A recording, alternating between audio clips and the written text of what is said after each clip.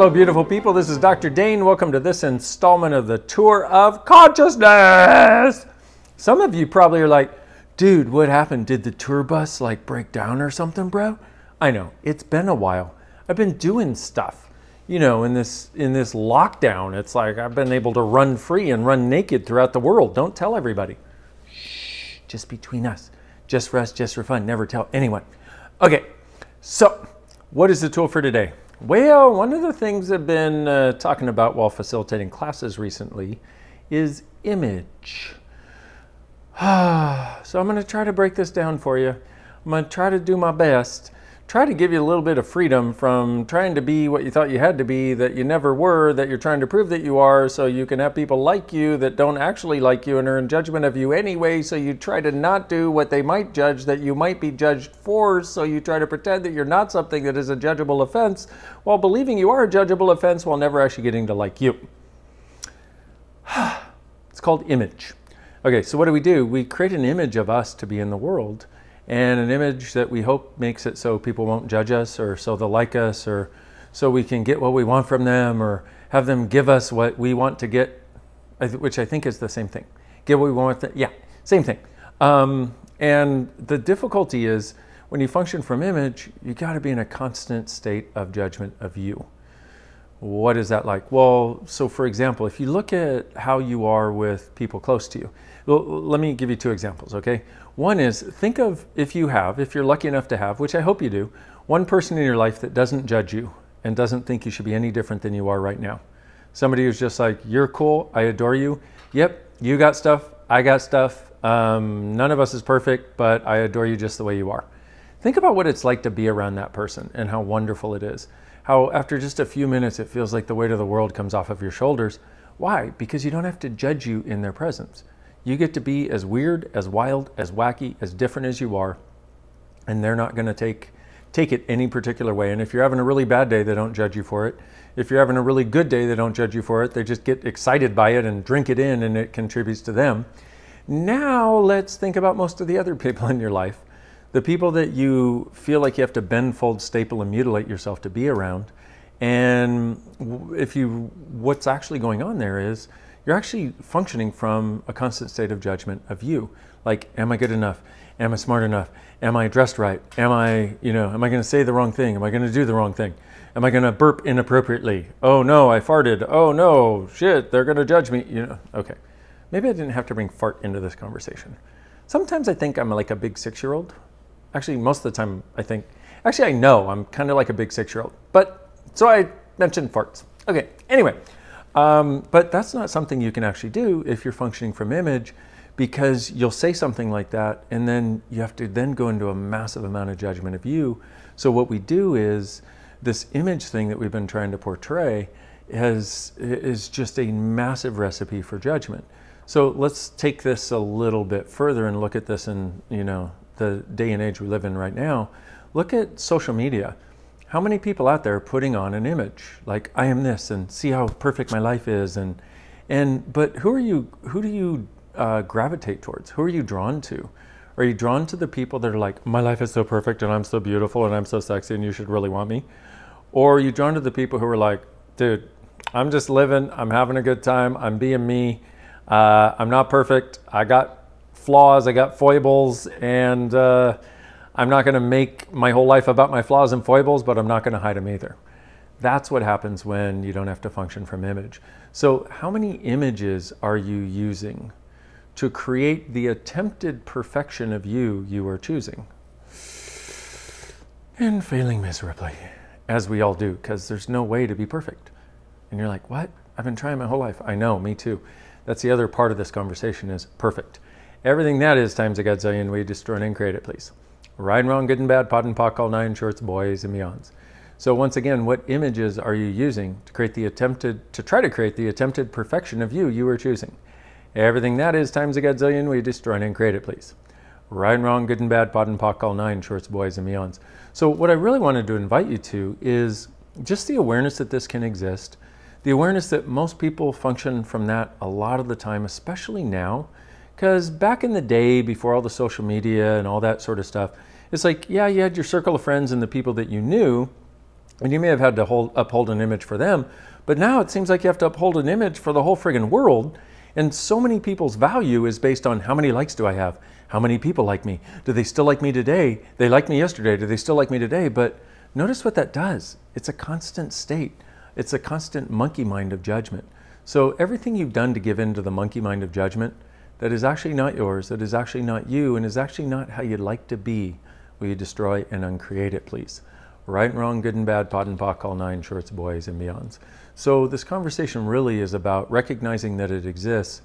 And then notice when you go into that sort of nonstop cycle of judgment of you and just stop. See a hand in front of you, see a stop sign, I don't know, see a squirrel painted red, whatever it takes for you, and just go, okay, I'm not going there right now. And you could, you know, if you know the Access Consciousness Clearing Statement, which you probably should if you've been on the tour of consciousness for a while, just go POC and POD all that shit. And it may not change at all, but what it'll do is it'll be a pattern interrupt. And then the POC and POD part goes back to wherever you started it in the first place because your choice to change it is what changes it. And it stops it, at least for the moment. Now, if it starts up again, just do it again. Stop, POC and POD all that shit. Or everything that allows it to exist. I now destroy and uncreate it. Right and wrong, good and bad, POD and POC, all nine shorts, boys and beyonds. So there is a possibility of living beyond the need for image. And you know what's interesting for me is as I was growing up as a little kid, I crafted what I thought was the perfect image. And here's the weird part. One of the ways you'll know you have been functioning from image is if you um, have difficulty being around more than one person at a time, and your judgment goes through the roof when you do, because what happens is you craft an image like this. Okay, so everybody sees me from here and sees me in this way. They see only what I want to see about me. But if there's another person over here, you're like, I can't do two images at the same time because they might clash. So it's not wrong if you're doing this. Oh, look at the look. It's speaking of image, I just turned orange. Maybe there's a lesson in here. Maybe there's an awareness. Hold on. I'm gonna ooh, back to not orange. That was cool. Um, and so you'll know that you're doing it if, if when more people get around, you start getting more and more stressed because you can't put up enough facades that don't conflict with each other when you're around more people.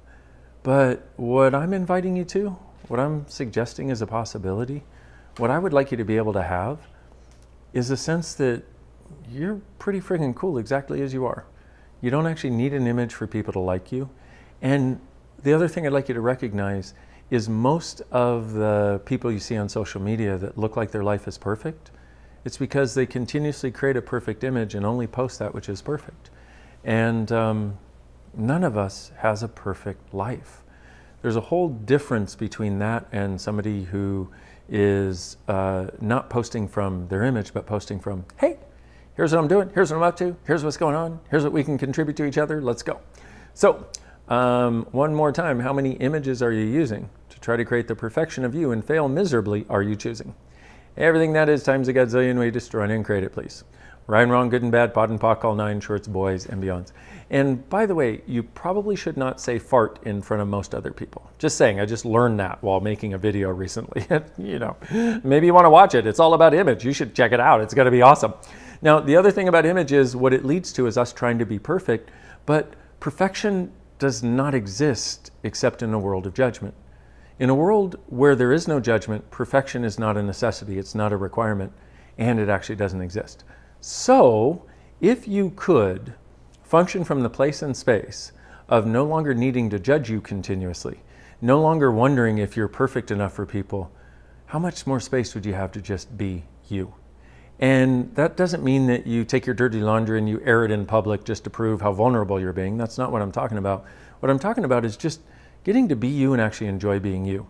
So everything that doesn't allow you to enjoy being you, as weird as you are, as quirky as you are, as different as you are, as bizarre as you are, and realize that that is actually the gift to the world that you are, is that difference where you destroy and uncreate it, please. Right, wrong, good and bad, POD and POC, all nine shorts, boys and beyond. Let's just say it would be a very boring world indeed if none of us were different. And yet that's what we keep trying to create is us being like other people so we'll be liked. Well, the secret is when you actually start liking you, the approval of others becomes far less relevant. So what else is possible, my beautiful friends? what else is possible beyond image? And getting to actually be the being that you are, the persona of you, the you showing up in the world, as quirky, as different, and as much of a gift as you truly be. Thank you very much for watching the Tour of Consciousness. And if you look outside, check it out. Okay, so a lot of you know we had freeze here in Houston. And um, you know what's interesting is though the color of the leaves on many things have changed out there, and some of the plants died because they froze, and we covered a lot of them with, uh, you know, I guess little little plant jackets. Yeah, we covered them up. Um, but everything else out there is going on still. Life and living continues in the world of nature, no matter what nature throws at these plants, and it's just phenomenal to see. I adore you very much. Thank you very much for watching. Thank you for being part of the Tour of Consciousness. And what if you truly being you, beyond the need for image, perfection, and the judgment of you, are truly the gift, the change, and the possibility this world requires. And guess what? I got a class coming up. It's called Onward, Upward, Forward, or as I like to call it, the UFO class, even though if you go onward, upward, forward, it sounds like the OOF class. But I like to call it the UFO class because I think we're going to take off into the uh, stratosphere, if not further. And uh, that comes on, that will be Thursday night, I believe. And a week from now, a week, yeah. You know what? There'll be a date somewhere because my brain don't figure that shit out. I adore you guys. See you soon. And come to the class. It'll be so much fun. Oh my goodness. I will talk about image and then we'll uh, undo some stuff. And then you get free and I don't have to judge you and you have way too much fun. And then you can be as stupid as I am sometimes. Okay. I adore you. Bye.